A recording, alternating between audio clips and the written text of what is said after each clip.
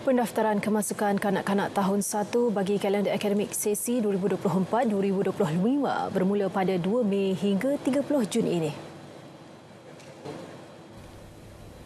Kementerian Pendidikan KPM menerusi hantaran di Facebook memaklumkan pendaftaran secara dalam talian itu boleh dibuat melalui modul pengurusan awam sistem bersepadu KPM di laman sesawang idme.moe.gov.my. Menurut hantaran itu, kanak-kanak yang layak memohon adalah warga Malaysia yang lahir dari 2 Januari 2017 hingga 1 Januari 2018. Langkah-langkah pendaftaran turut dikongsikan dalam hantaran tersebut.